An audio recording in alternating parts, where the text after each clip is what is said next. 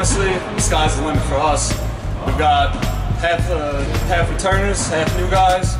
We got everyone coming together on the same page. We expect nothing but a Skyline Championship. We expect nothing but Sweet 16, uh, Elite Eight, Final Four.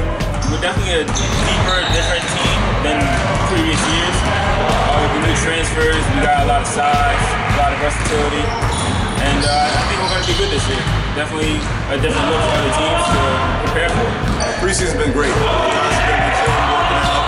We have uh, six returners coming back, and they've enhanced game at a high level. Uh, combination of weight room, a lot of ball handling, uh, a lot of shooting. Part of our high octane offense. So I'm very proud of the returners came back in shape, and we have six new returners as well. We put a lot of work in the weight room and integration themselves our culture. We have two seniors that have been here four years. Steve Cohen is a senior point guard, 5'10". He's done a great job throughout his career of leading our offense. One of the highest assist-turnover ratio point guards in the league, and uh, Isaiah Moore who's been a really good player for us the last three years, the senior year. He's trying to put it all together. He's a great defensive player, uh, can put a lot of pressure on, off, uh, on great passer as well.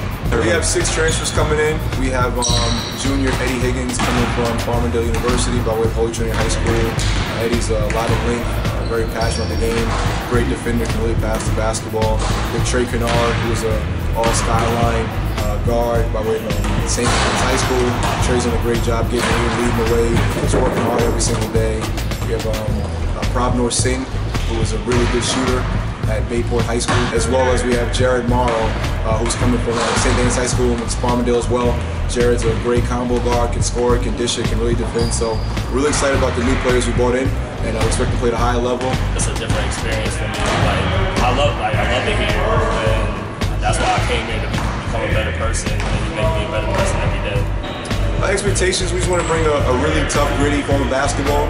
We've always been one of the best shooting teams in the conference, one of the best defensive teams in the conference. But this year, trying to piece it all together. There's a lot more depth this year, um, so we can go towards um, different matchups, different lineups.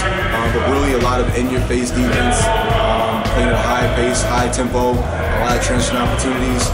We're working right now. We thinking all, all we want is get to the championship right now.